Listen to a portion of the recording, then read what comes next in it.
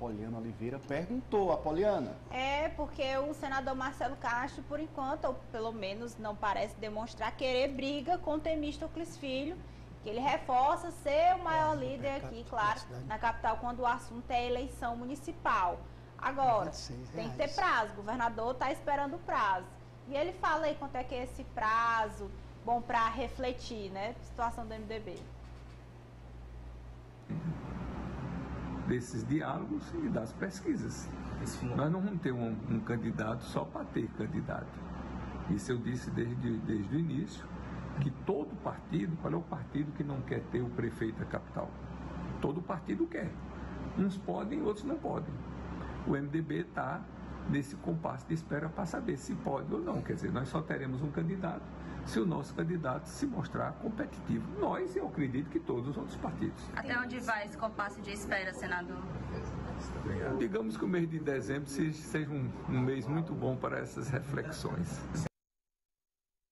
Dezembro, Apoliana. É tempo de reflexão, né? Tempo de reunir a família, reunir os deputados, reunir os líderes do partido para tomar essa decisão. E é justamente o prazo, agora, final de novembro, início de janeiro, que o MDB tem para se posicionar. Senão a fila vai andar e a vice de, Rafael, de Fábio Novo vai ser oferecida para outros, para outro partido, outros líderes, talvez para o PSD, ninguém sabe, fala-se aí sobre o PSDB, existe essa possibilidade, mas a fila para o MDB vai andar, vai perder a prioridade. Bom, quanto ao PSDB, eu acho mais difícil. Luciano mas... ainda está muito resistente.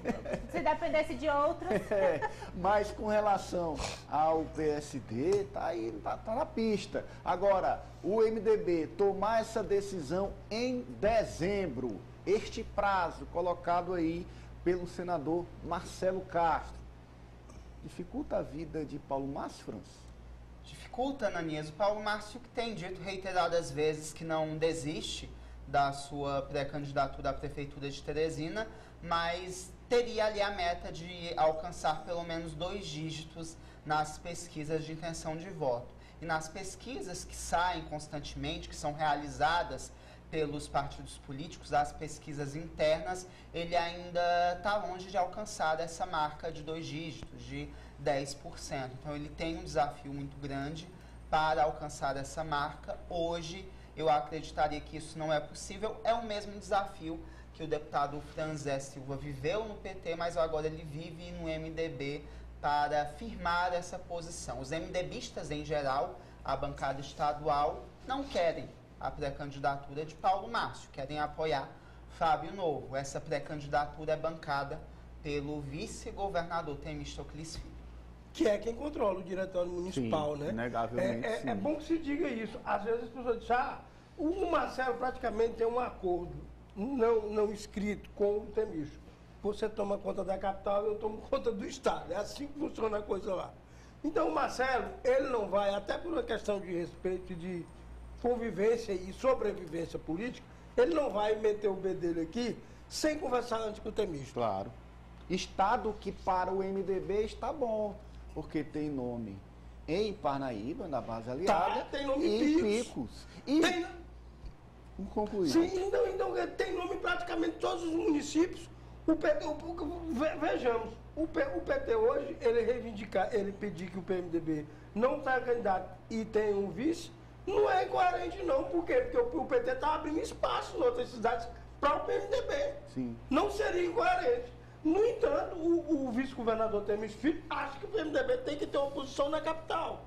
E se ele bancar a candidatura de Paulo Márcio, se ele segurar lá como ele vem se segurando, ela sairá, independentemente do, do, do, do que os deputados achem ah, do que os deputados pensem, ela, ela segue em frente. Tem misto, tem cacife para E aí abre espaço, como disse a Poliana, para outro aliado indicar o vice. E o Evaldo já Fábio lá, né? É, fazendo aquela visita e lembrando, eu estou aqui, né?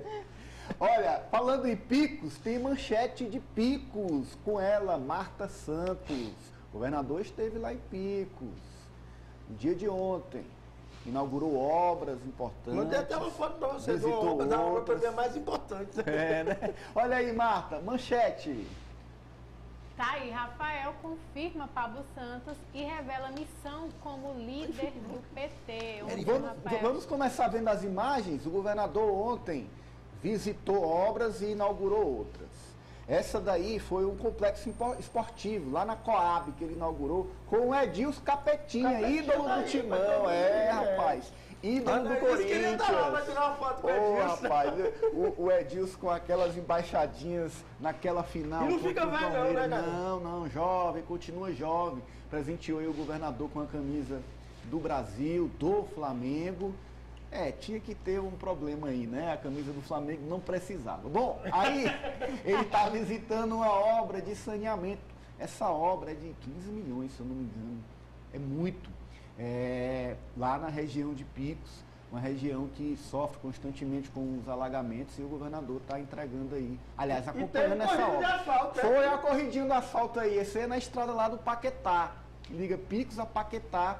A estrada Pix foi Sussuapara completamente. também, né, parece. Sim, essa já foi recuperada. Essa de Picos a Paquetá, o governador Lançou a obra agora, né? ontem. Sim. Não, já inaugurou também, Essa, né? essa ele já entregou, já inaugurou ontem Mas com é, direito à tem uma foto corridinha. que eu mandei pra você, que é um negócio muito reivindicado aí por quem visita Pix, que é a foto do balizamento noturno lá do aeroporto, né? Sim. Tem, Danilo? Você tá com a foto ainda aí? Tu me mandou aqui, João? Mandei, mandei, não mandei no Ciência Man- Política. Mandou, mandou pra, Mandei pro Ciência Política, mas pra- eu tenho aqui. pra Nájila. Olha aí, tá aí, tá aí as imagens, olha. Tá o governador voltou no avião ontem à noite, Mas a foto estreando o balizamento noturno, viu? Recupera a foto aí, João, manda pra Eu vou Nájila, recuperar porque ficou muito bonito, cara. Até assim ficou com uma atração lá Dá pra agora. soltar aí essas imagens, é, é, Nájila?